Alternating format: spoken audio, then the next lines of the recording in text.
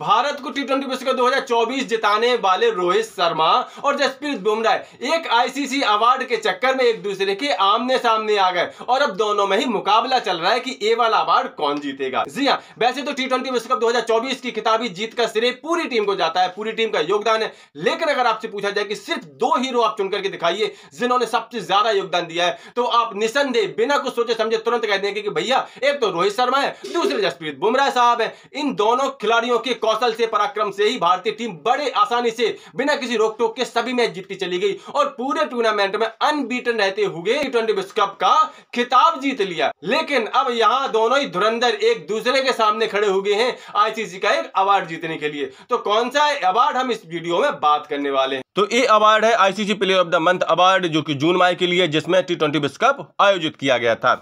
यहाँ पर पहला नॉमिनेशन है भारत के कप्तान रोहित शर्मा का, जिन्होंने पूरे टूर्नामेंट में शानदार बल्लेबाजी की, साथ ही साथ शानदार कप्तानी भी की है।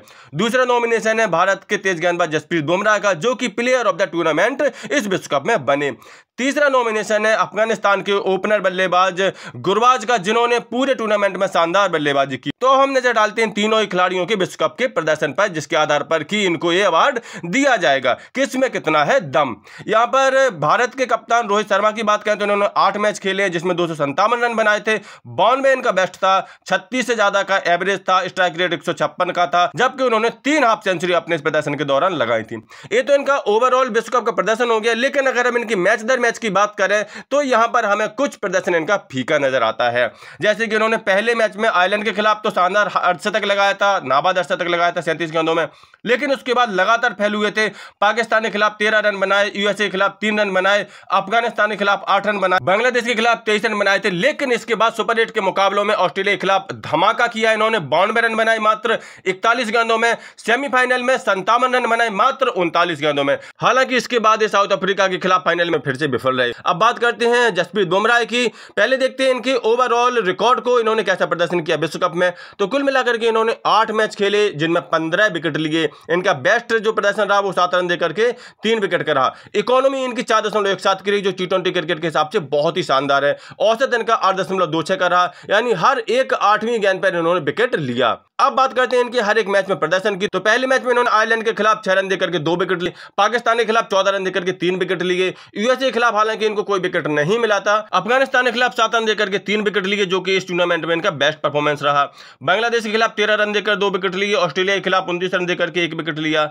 इंग्लैंड के खिलाफ बारह रन देकर के दो विकेट लिए। और फाइनल में इन्होंने साउथ अफ्रीका के खिलाफ अठारह रन देकर के दो विकेट लिए। अब नज़र डालते हैं रहमान गुरबाज के इस पूरे विश्व कप के ओवरऑल प्रदर्शन पर। तो इन्होंने यहाँ पर कुल आठ मैच खेले जिनमें दो रन बनाए और ये दो किसी भी खिलाड़ी के द्वारा बनाए गए इस विश्व कप के सबसे ज़्यादा रन है। यानी गुरबाज इस विश्व कप में सबसे बड़े स्कोरर रहे हैं।